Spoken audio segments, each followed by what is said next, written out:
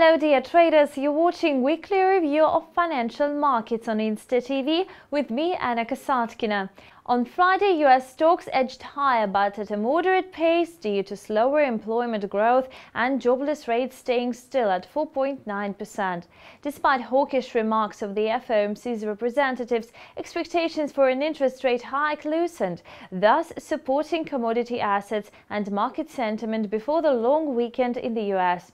Yesterday, U.S. exchanges were closed because of the Labor Day celebration.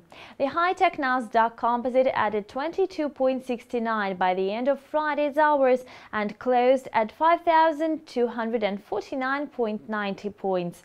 The week rise made up 0.6 percent. The Dow Jones Industrial Average climbed by 72.66 to 18,491.96 on September the 2nd. Throughout the week, the Dow expanded by 0.5%.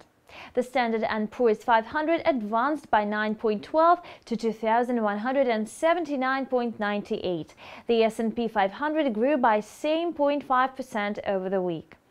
According to the report unveiled on Friday, the U.S. economy generated 151,000 new vacancies, down from forecasts for an increase of 173,000 positions. The unemployment rate of 4.9% remained unchanged last month, while analysts had projected a slight drop to 4.8%.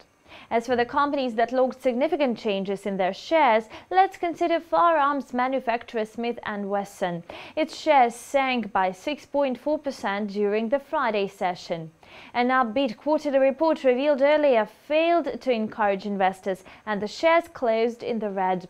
Shares of Lululemon Athletica, a yoga-inspired athletic apparel company, slumped by 10.6% on Friday.